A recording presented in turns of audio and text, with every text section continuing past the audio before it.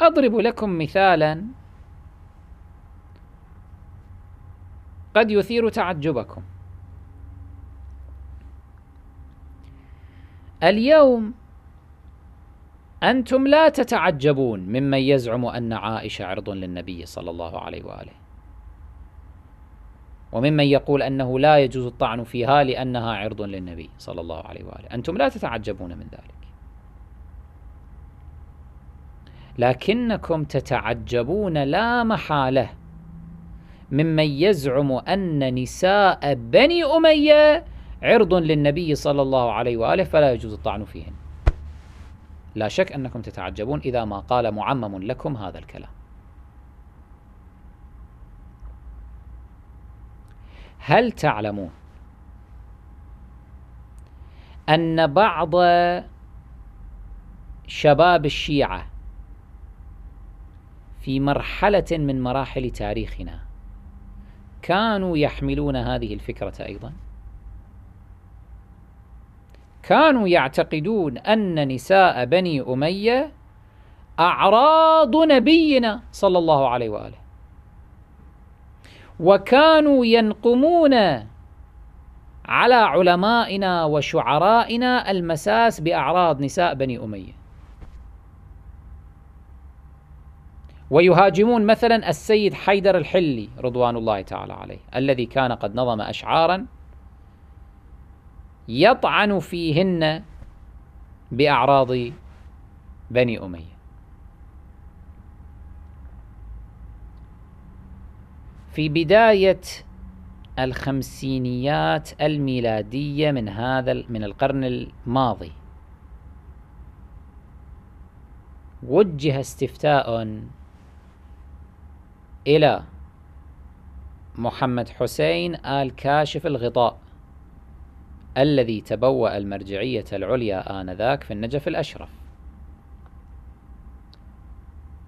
هذا الاستفتاء تجدونه مع جوابه في كتاب جنة المأوى. ماذا جاء في ذلك الاستفتاء؟ جاء فيه سيدي إننا في عصر بغيض.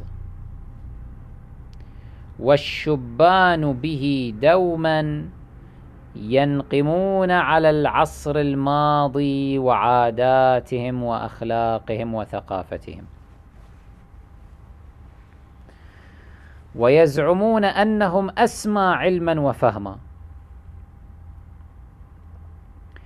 وقد اعترض فرد من بعضهم على بيتين من قصيدة السيد حيدر الحلي وهي قوله متهجما على بني أمية وآل سفيان ماسا في عرضهم في عرضهم.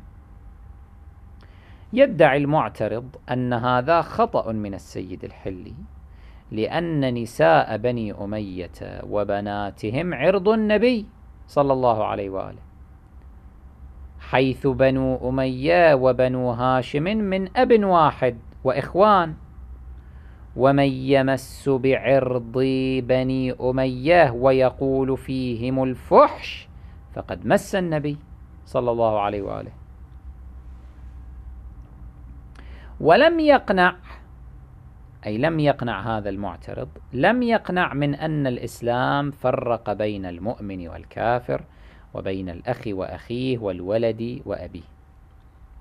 فهل من رد شاف أدبي وحكمي وفلسفي لإقناع هذا الجاهل المجادل الذي درس في مدارسنا وكرس حياته في طلب العلم ولم يقنع بأي رد؟ مع العلم هو جعفري المذهب. وعائلته رفيعة ولكنه يجهل أمورا ويجادل بأخرى. كان هذا نص الاستفتاء المرسل إلى محمد حسين الكاشف الغطاء. فأجابهم ومما جاء في جوابه قال وردني كتابك تذكر فيه أن بعض الشباب يعترض على المرحوم السيد حيدر في قدحه بأعراض بني أمية وتهجمه عليهم لأن نساء بني أمية وبناتهم عرض النبي صلى الله عليه وآله وأن هاشم وأمية من أب واحد. ولا غرو أن يعترض أمثال هؤلاء الأغرار الناشئة الذين لا خبرة لهم بشيء من السيرة والتاريخ والأمور الضرورية من أحوال الجاهلية والإسلام. وأن الذي ذكره علماء التاريخ من رجال السنة وشعرائهم وكتابهم من فضائح بني أمية ومخازيهم والقدح في أعراضهم وبيان عهرهم وفجورهم أكثر مما ذكره علماء الشيعة وشعراؤهم بكثير. وقضايا هند أم معاوية زوجة أبي سفيان وفجورها قد نظمه الشعراء في زمن النبي صلى الله عليه وآله. شهرها شاعر النبي حسان بن ثابت بقوله لمن الصبي بجانب البطحاء؟ ملقا عليه غير ذي مهدي بخلت به هيفاء آنسة من عبد شمس صلت الخد. يعني ناعمة الخد.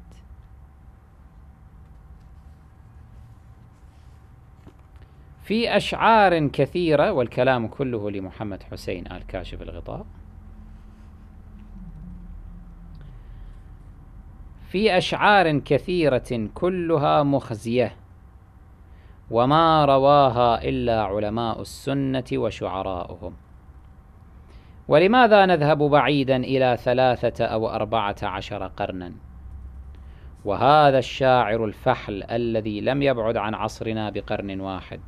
وهو عبد الباقي وهو سني عمري فاروقي. يقول في الباقيات الصالحات من جملة أبيات مشهورة وحربا يا آل حرب منكم يا آل حرب منكم وحربا فيكم وعنكم وبكم ومنكم ما لو شرحناه فضحنا الكتب. فرحمة الله على السيد حيدر فإنه أقصى ما صنع بشعره أنه فضحهم ولكن العمرية فضح الكتب بفضايحه. قل لذلك الجاهل لو كانت نساء أمية عرض النبي صلى الله عليه وآله لنهى شاعره حسان عن التعرض لها. المفروض أن يقال لهن. وما لنا نذهب بعيدا وهذا كتاب الله العظيم يقول لنبيه نوح عليه السلام حين قال إن ابني من أهلي فنفاه الله تعالى عنه بقوله إنه ليس من أهلك إنه عمل غير صالح. ولكن أكثر شبان هذا الزمان يدخلون المدارس ويخرجون بعد ست سنوات أو أكثر يحملون الشهادة أو شهادة الدكتوراه لا يحفظون آية واحدة من كتاب الله العظيم حتى ولا فاتحة الكتاب. لأن الشيطان والتمدن الغربي بحمد الله قد أسقط عنهم كل تكليف وكل أدب إسلامي من الواضح أنه يقول هذه العبارة الأخيرة على سبيل التهكم.